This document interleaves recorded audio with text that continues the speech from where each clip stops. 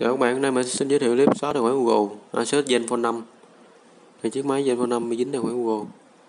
Giờ mình sẽ tiến hành xóa nó.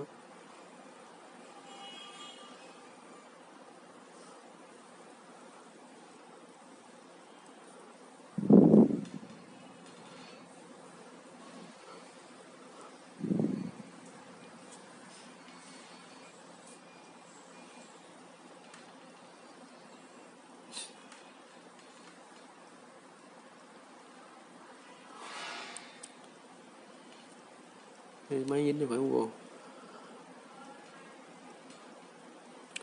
mình sẽ trả lời sau khi nó xóa nó.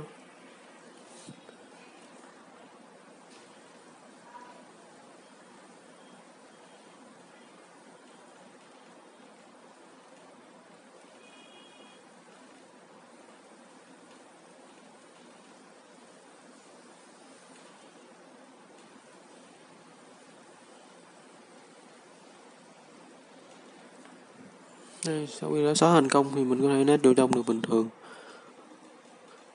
Clip dịch vụ bạn nào có nhu cầu mở thì liên hệ địa chỉ bên mình.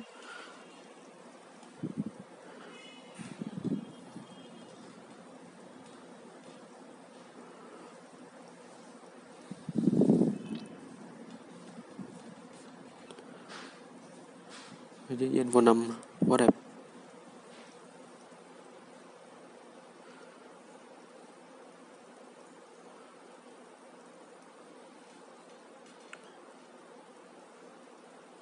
Máy đang chạy phiên bản Android 8.0